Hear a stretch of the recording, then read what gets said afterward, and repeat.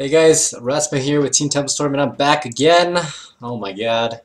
Back again with uh, intermediate skill level tips for arena drafting. And uh, we're going to cover quite a few topics here actually.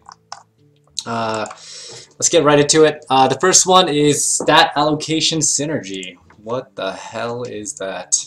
Stat allocation synergy. This sounds like something I just made up, right? Uh, it actually is something I just made up, uh, but it is uh, something that actually exists.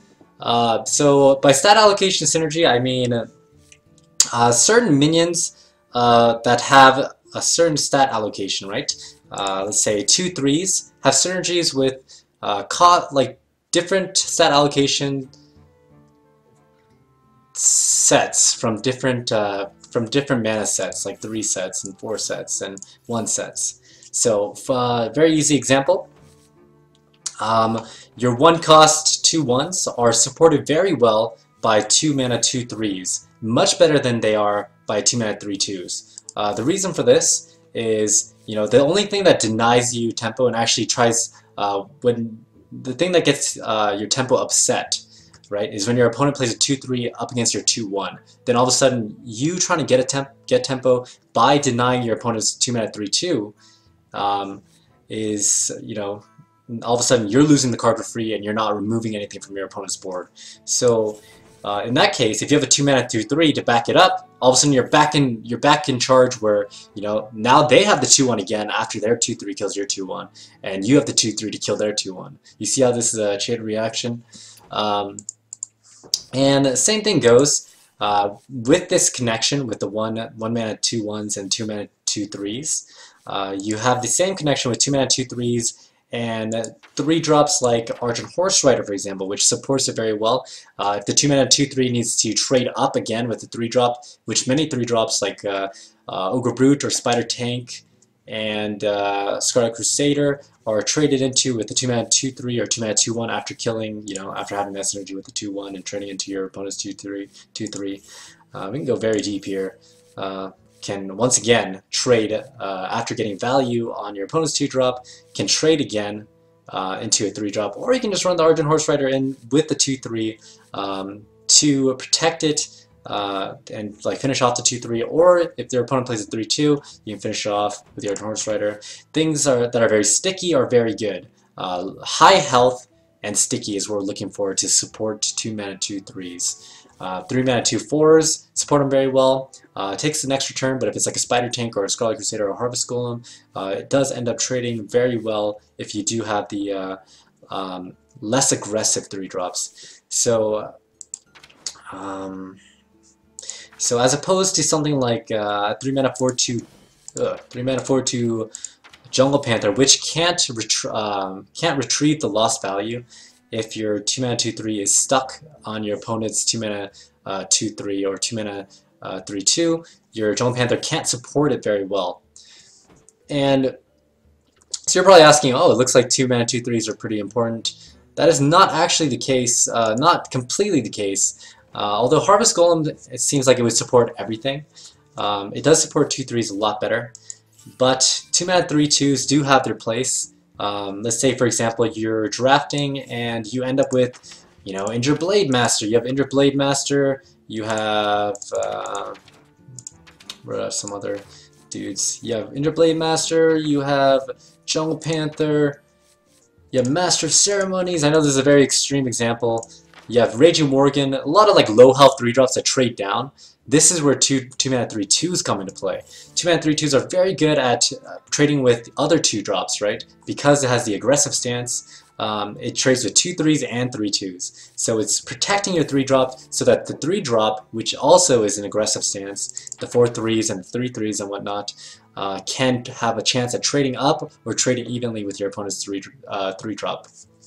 So you kind of have that kind of synergy, and this goes on uh, even into like 4 drops. If you have an aggressive stance 3 drop like a Raging Worgen or a 4-2 or a 4-3, then you're supported very well by, you guessed it, 4 mana taunts. Uh, Arcane Nullifier, Sen'jin, Heckler work really well um, to protect them. And also, uh, um, let's see, like a lower health 4 drops, or sorry, higher health 4 drops with lower attack. Uh, things like uh, uh, things like Gnomish Inventor are a little bit better, Frigid Snobold are a little bit better if your 2 and 3s are in aggressive stance. And things like uh, Oasis Snapjaw are a little bit better because all you, you, don't need that much damage at that point since your uh, opening plays provide that much uh, more damage. And your 3 drop supposedly should be alive, or you should have another 2 drop. Um, maybe you play uh, two drop on two and two drop on three because you missed your curve. But still, that's still enough damage to uh, support the Oasis Snapjaw to kill a Yeti, right? Uh, even if it's like a Blood Fen.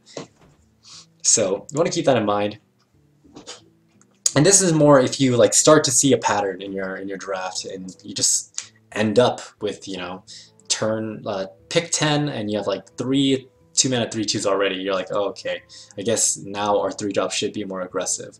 Or if you have like uh, like like four three mana two fours, you're like, hey, my two drops should be two threes now, so that the two fours actually can support something in the two threes. So that's what I mean by stat allocation synergy. Uh, you want to make sure that your the stats on your minions actually work well together. The next one I want to get into is uh, you want to take a good look at your draft. And this is more towards like the later half of your drafting. Uh, does your deck look really wimpy in the early game? Then you want to make sure that your mid-game cards uh, can stabilize. So if one part of your deck is weak, you want to make up for it um, at another point in your deck. Uh, which you probably have cards in, right? Because if you don't have cards here, you gotta have somewhere cards somewhere around here. So what should your 4 drops look like if your mid-game cards are weak? And we talked a little bit about this on the previous video, and I'm and I didn't I'm not gonna go over like everything because uh, I expect you know if you're watching this video you should know most card values and like what's good and what's not good, but uh, hopefully this you know could be a little bit more uh, in depth in depth since uh, this video should be uh, should be for intermediate players so if we have a weak early game, what I'm looking for is 4 mana, 5 health minions. This is a huge deal. I'll even take a 4 mana 2-5 over a 4 mana 5-4. I think that's a huge deal because it helps you stabilize. So if your early game is that weak, um, then you're very susceptible to leaving your opponent with like a 1 drop and a 2 drop uh, by the time you hit your turn 4 or like a 2 drop and a 3 drop or a 3 drop and a 1 drop and a, you know there's a, a lot of different combinations in which you know Yeti is more likely to stabilize or like a um, whereas like a Violet Teacher or like any 3-5 is more likely to stabilize you uh, than something like an Ancient Brewmaster or an Ogre Magi. So you want to keep your eye open for that. Weak, weak uh, uh, early game means you want uh, stabilizing forward drops in the mid game. Um, and also a big point is, you know, maybe not maybe they don't even have like a one drop and a two drop, you know, maybe is just making this kind of stuff up to scare us. But uh, you want to think about it in this way where, you know, the 5 health amount is a breakpoint, a huge breakpoint in Hearthstone. And let me explain why. There are a lot of cards that can do 4 damage, and there's also a lot of minions that have 5 health. Uh, and this is a huge deal. This is why you see the pink classes always rise to the top uh, of Arena. This is why Rogue and Mage and Druid are consistently very strong classes because they can um, use that uh, very often, uh, very frequent 4 damage with the, against very frequent 5 health on minions. And uh, if we can help it, when we're not playing against those classes, or even when you are playing against those classes, you still get the edge because they start to use their 2 mana to ping it. But, uh, you know, you gotta play around things like Shadow Bolt, True Silver, Flame Cannon, Bomb Lobber, Eviscerate, everything does 4 damage, Flame Strike, every single thing does flame 4 damage, I promise you. Death Bite, trust me everything does 4 damage. And so, you know, that's why you value the 3-5s a little bit more. You know, just get, it just stays alive, and once again, if you have a weak early game, the last thing you need is for your 4-drop to be destroyed by some cheap spell and for you to keep falling behind in the mid-game. Because at that point, your late game, unless you have a million blizzards, uh, if you have a, unless you have like a crazy comeback, like constructed comeback combo, I don't see you winning that game. So just make sure, you know, if you do have a weak mid 4 mana 3 5. That does not mean if you have a strong early game, you should pick 4 mana 5 4s. So I would still prefer 4 5s and three fives over five fours, and we went over this um, because of that breakpoint. But I think it's a little bit more. Uh, a little bit more acceptable. It's a little bit more acceptable if you do have a very powerful, powerful or early game uh, in the same way that you know three two synergize really well with with three threes and four twos because the two drop uh, two mana three two trades and protects by trading uh, the four mana four two or three mana four two because of the three mana four two's low health. Um, because it trades in aggressive stance, uh, the three drop is protected. In the same way, if you do have a very powerful early game, uh, your four drop, even though it has four health, will be a little bit more protected, so it's a little bit more acceptable. Oh, that's difficult to say. Second topic I want to get to is uh, knowing whether you're playing like a momentum class or a reactive class. So let's see, let's look at the different classes here. And different classes have tendencies, um, and some classes will almost always be uh, momentum based, and some classes will always be reactive based. But uh, let's go over real quick about what I mean by momentum and reactive. Momentum classes are classes that need initiative and need to be ahead on board uh, at the start usually to even have a chance. Uh, you'll see momentum classes usually be classes like uh, Paladin is a very obvious one. Without Paladin, Paladin having the board, their comeback mechanisms are very weak. You know, um, they're not. Uh, it's very easy to play around True Silver and Consecration and whatnot. So usually they want to be ahead on board so they can use the buffs, uh, buffs to get ahead and whatnot. Very big momentum class. Same with Priest. Um, Priest needs to be ahead on board, but at the same time, Priest does have a little bit more spells in their arsenal, although they're a little bit weak. Um, so yeah, they can be reactive. It depends on how many like um, like comeback mechanisms you have. But uh, very obvious, uh, another very obvious momentum class, Warlock. You have a very early curve uh, with you know Wrathguards and Flame Imps and Blood Imps, and you know your cards are your class cards are very cheap, so that you can have the board early and that's how you get your powerful Whelmings active and you know um, just that's just how the class is meant to be played. Um, let's see a very obvious another very obvious uh, momentum class is Hunter generally you want to curve lower as Hunter uh, because your win condition unlike every other class is face damage uh, to do this you generally need to be build a substantial amount of tempo on the board and convert that into damage later on. So to build that substantial amount of tempo on the board, you at some point needed to have, uh, needed to have gotten the uh, the uh, momentum early on, or you know some kind of board control early on. That's why we call it a momentum class. Uh, very obvious reactive classes. Uh, Priest again actually is also uh, reactive because once again depending on how many spells you have and because Priest generally can't grab the board very well anyways is can be considered a uh, reactive class. It works it works in both ways. I know I sound like an idiot saying that it is a reactive class and a momentum class as well but it, it can be okay. Um, Mage, Druid, Warrior are um, very reactive. Uh, so as Mage and Druid and Warrior, you get a lot of removal. Warriors get a lot of weapons. You tend to just play and just wait for your opponent to play minion. You use your weapon to smack it down. Done. You got value, and that gets you tempo.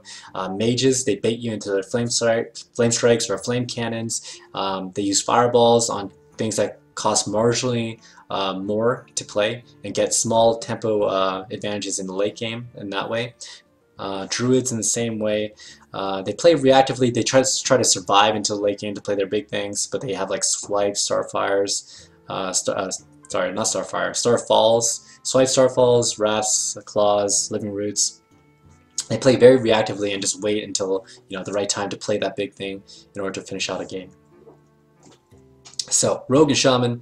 Uh, Rogue can be both as well, and same with Shaman. It depends on the draft, and I think um, Rogue is probably the most um, flexible in which how you play it. You can take the board uh, very quickly at the start because Rogue has a lot of very uh, floody cards like uh, Defias Ringleader, Buccaneer, uh, your Hero Power synergizes well with uh, you know Goblin Autobarber which gains you the board since you know you're developing not only a 3-2 for 2 mana, which is normal, but also, you know, uh, an extra 2 damage from the Goblin Autobarber uh, Battlecry buff and whatnot. And you have a lot of cards like that, SI:7, that just swarm the board, but at the same time, you have a lot of cards like uh, Blade Flurry, you have weapons, and you play very reactively, and you have a lot of removal. You have backstabs, eviscerates, and you can play very reactively. So why is this important? Why why won't Why am I stock talking still? Um, depending on whether you're playing a momentum class or a reactive class, card values change. So what I mean by this is cards, especially buffs, and I want you to keep your eye open for this one because I see a lot of, uh, I actually do a lot of coaching or did a lot of coaching, but I saw this mistake very often. And you do not want to value Shattered Sun. Generally a very good card, right? Generally a very good card, but playing a momentum class is much, much better because you're going to have the board early, and that's, you know, the definition of momentum class is you're building momentum, you know. You're building momentum, and this is one of the ways you do it. Shattered Sun is going to make you able to get a good trade and um, get ahead at some point, right? Um, just by timing or like planning uh, the Shattered Sun correctly. But on the other hand, if you're playing a reactive class like uh, like uh, mage or druid or priest or you know sometimes uh, warrior or, or well, well warrior then it's a little bit less good because if you're trying to react to something and you don't expect to have the board, Shattered Sun very often will be a 3 mana 2 drop. It'll be a 3 mana 3 2 and that's it. And you don't want that to happen. So the value of cards like Shattered Sun, Dark Iron Dwarf, Dark Iron Dwarf, Dark Iron Dwarf, you know, Abusive Sergeant, you know, Defender of Argus, this is a big one. Defender of Argus, Defender of Argus, you know, all these change and are a little bit worse, marginally worse, some cards more than others in these reactive classes and are marginally better in the momentum classes. And this is also subject to uh, your own personal playstyle. Maybe your style of mage is more aggressive uh, generally. And I'm not saying that you can only have one style, but you know, looking at the deck, right?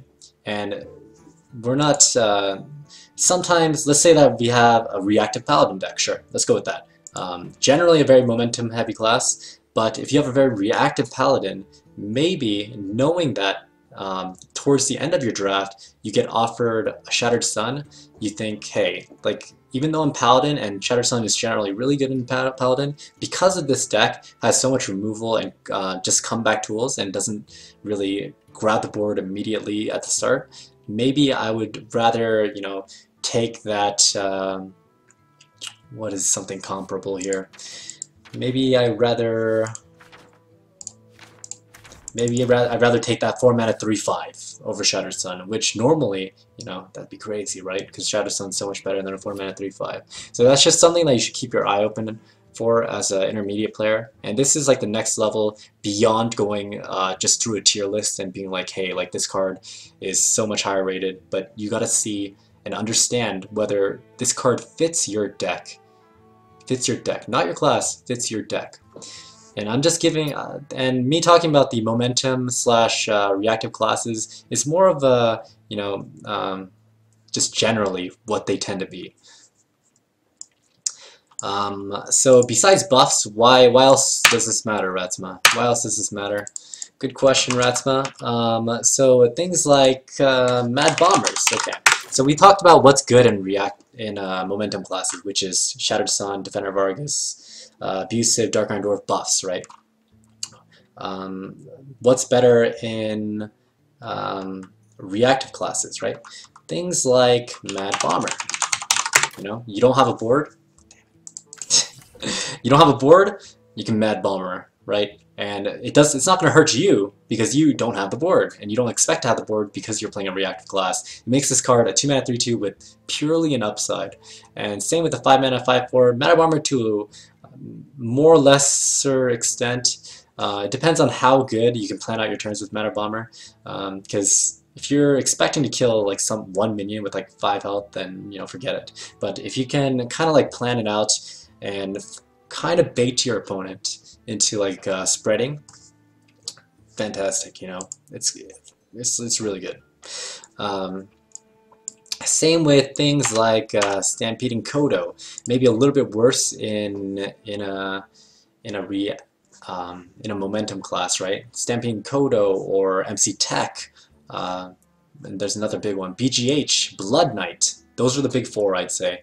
Uh, those are a little bit worse in momentum classes because very often as a momentum class you gotta keep keep producing on the board. You gotta keep developing or else once you lose that momentum you know boom you got you got cleared or you know your opponent gained the board back or stabilized you're done.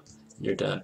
So you want to make sure that you know you're not taking that stat discount uh, for nothing. On like MC Tech for example you don't want a 3 mana 3 3 if you are playing a momentum class. Like when are you ever going to use that and, um, when you expect to have the board, you know? And if you already lost the board, then you lost the game. It wouldn't matter if you hit MC Tech, unless it's the god MC Tech, which does happen, but please don't play like that. Please don't play like that. So you um, think about it, and those cards get a little bit worse in momentum classes, and much better in reactive classes where you're just looking for an opening, right? As a mage, you're just looking for that perfect flame strike. Maybe you're looking for that perfect blood knight. Maybe you're looking for that perfect uh, MC Tech, and it's much better in classes like uh, like that. Um, another thing to think about is something like Youthful Brew and Ancient Brewmaster. Um, much worse than Momentum class.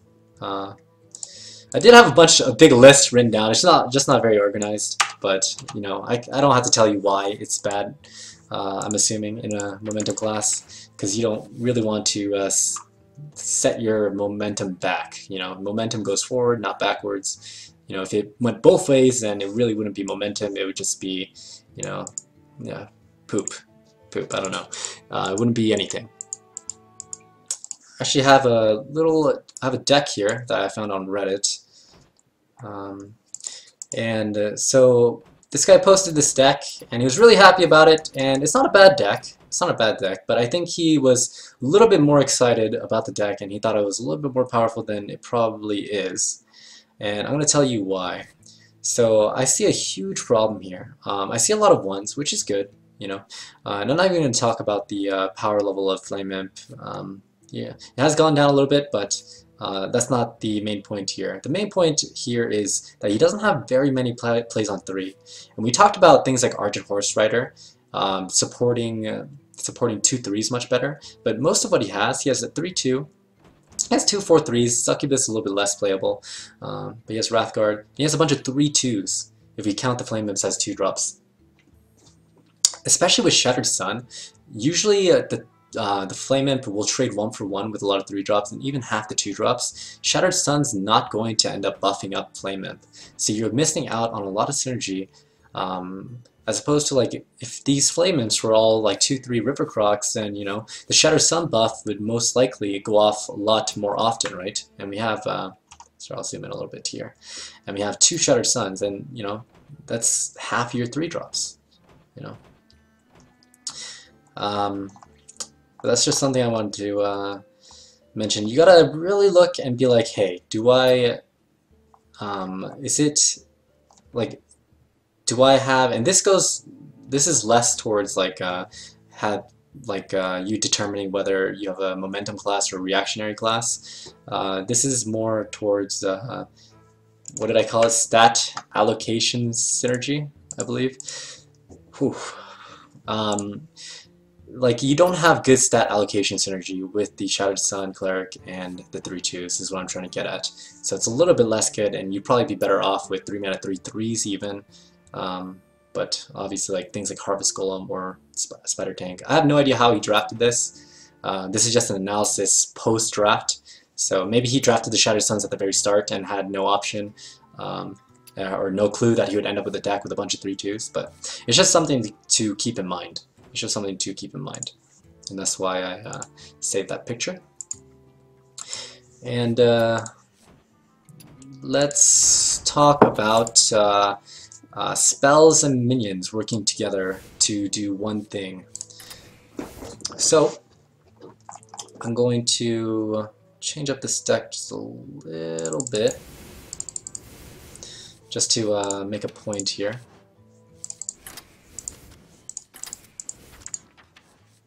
Gonna add a bunch of early game and have this be in a, a very, very, you know, aggressive looking deck, okay? There we go, that's pretty aggressive. We don't have all the cards, but... Alright. so this is a very uh, easy tip for you uh, intermediate players out there. Uh, and if you want to like uh, if you're not sure and you're stuck between two spells, or you know, you just want to know kind of like how uh, the spells synergize with your minions because uh, we talked about minion minion synergy uh, just with stats. Now we're going to talk about spell to minion synergy uh, according to curve. So given this curve, right, you have a very aggressive curve, lots of two drops, lots of three drops, lots of four drops. This happens, you know, it's not ideal, but it happens. So, you know, you have an aggressive mage deck. So what kind of spells do you want? You want actually less frost bolts and flame cannons, and you want more high impact spells. You want high impact spells. Obviously, you can't always get uh, like your flame strikes, but you know if you get like a Pyroblast offering, maybe that's more that makes sense. You know, you have the board early, and what you need is a finisher, and you can get that from your spells. Um, and the other way around is true as well. So if you have a lot of uh, early game, or if you have a lot of late game, sorry, I'm just gonna put cards in here just so we can look at the curve. Um,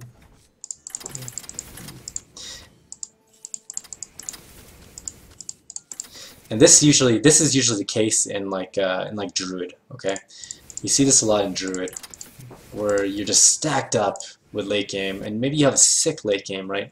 But the problem is getting to the late game. What do you need with uh, like a heavy minion curve? Like you have really heavy minions that get you a lot of value. You need to survive. That's number one.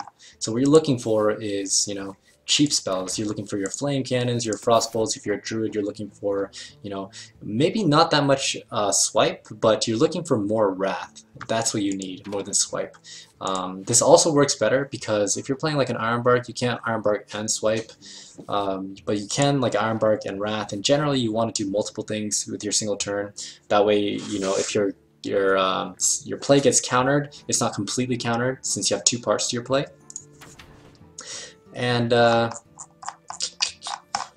but yeah, like why why is this though? Why why with like a really aggressive minion curve early on do we want like high impact late game spells and why with a really expensive uh, minion curve do we want like really cheap spells? Uh, I think the best way to think about this is you know cheap spells help help you stay alive until you stabilize with the big minion, right? Once you get the big minion on board with the help of the spell, the big minion will start doing its job by clearing off board and protecting your face. But uh, the other way around, um, when you have a really low curve, expensive health spells with uh, really high impact will be that final push to end the game, whether it be a value crusher like Flame Strike, which isn't uh, face damage, but you know just completely uh, clears the board and allows you to push for more face damage, or whether it be, or be like Pyroblast and um, Pyroblast and Fireballs, which help you actually finish the game with damage because of your early curve and your likeliness to uh, have already done a lot of face damage because of uh, your low curve. It tends to work out that way, so that's a good thing to keep in mind. And very easy thing to remember is, you know, if you have a very low curve with a lot of low curve minions, then you want expensive, expensive spells. And if you have uh, a very high curve with your minions and you want very cheap, cheap spells. And I'm not talking like uh, mid-game spells like, uh, uh once again, I'll, I'm not talking like things like Holy Nova as much as I'm talking things like Holy Smite and Shadow Word Pain, things to keep you alive in the early game, since with the expensive curve, generally your curve will start to start um, getting powerful during like the turn 4, turn 5, maybe even turn 3. And that's when you'll start stabilizing, stabilizing with minions. So, you know, this is why oftentimes Wrath is better, much better than Swipe in an expensive Druid deck. So, but uh, yeah, that's all I have for intermediate tips. Um, we will definitely be uh, following this up with uh, intermediate uh, play tips. So now that we're done with the draft portion, we're gonna move on to you know how how you should uh, see your games as an intermediate player. And uh, yeah, next after that, it's just advanced tips, and that'll be the uh, final two videos, or final three videos, the intermediate part two, and then the advanced part one and part two. But uh, hope you guys enjoyed that. If you did, uh, give it a like, I guess. Just sounds like something I should say. Thank you very much for watching again, and uh, you can find me at twitch.tv slash